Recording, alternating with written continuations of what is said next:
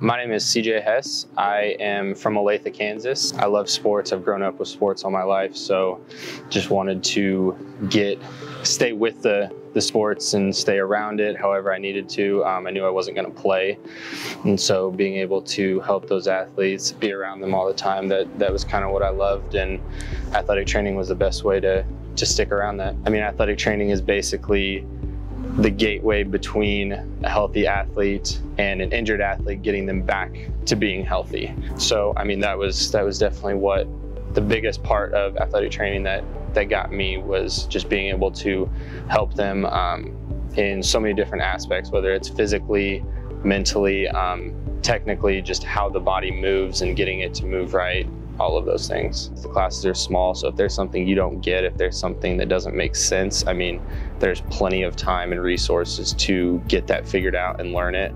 Um, and that's also what I like about having the class and clinicals. Some programs do all their classes at once and then they have a whole year of clinicals.